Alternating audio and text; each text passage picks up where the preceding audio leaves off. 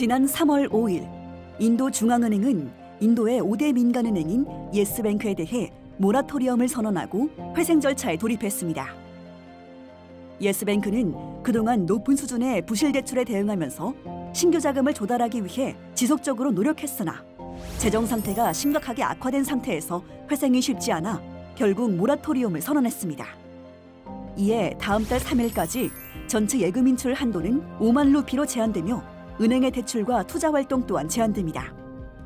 예스뱅크의 모라토리엄 사태 원인으로는 2018년 인도의 그림자 금융위기를 불러일으켰던 비은행권 금융업체 인프라 Leasing and Financial Service의 파산과 그로 인한 도미노 효과가 꼽힙니다. 인도에서는 이른바 그림자 금융이라고 불리는 비은행 금융회사들의 유동성 문제가 심화되었고 특히 예스뱅크는 이러한 비은행 금융회사들에 대한 대출이 약 11.5%의 비중을 차지해 그림자 금융의 붕괴가 예스뱅크 사태에도 상당한 영향을 미친 것으로 평가됩니다.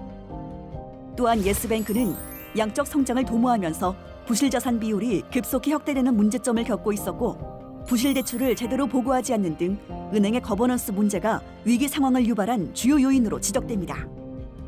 인도는 과거 인프라 Leasing and Financial Service의 파산이 타 비은행 금융회사들의 연쇄적인 부실 심화를 촉발했던 경험이 있어 인도 정부는 단순히 예스뱅크 회생에 그치지 않고 금융권의 꾸준한 불안 요인이었던 비은행 금융권의 유동성 문제를 해결하기 위해 노력할 것으로 보입니다. 이번 예스뱅크 사태 또한 금융시장에 추가적인 도미노 효과를 가져올 우려가 있어 회생 조치 진행 전반에 관심이 모아지고 있습니다.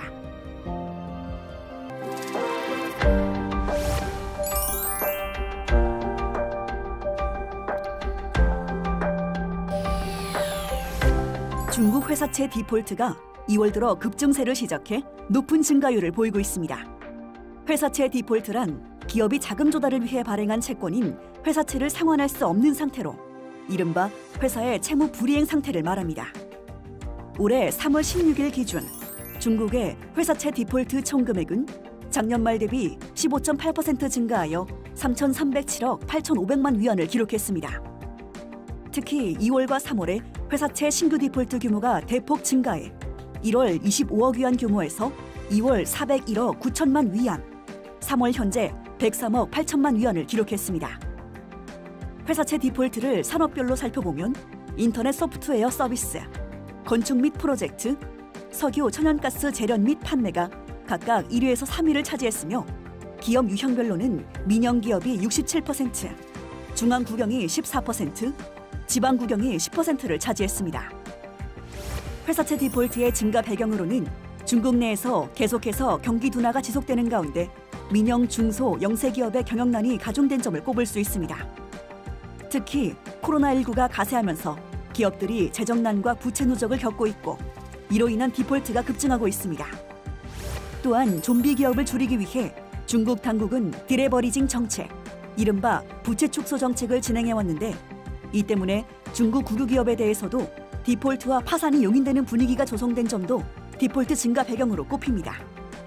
중국 정부는 기업의 경영난 완화를 위해 여러 조치를 취하고 있으나 정책 효과에 한계가 존재하며 코로나19의 글로벌화 및 장기화 여부가 회사채 디폴트에 더 큰 영향을 미칠 것으로 보입니다.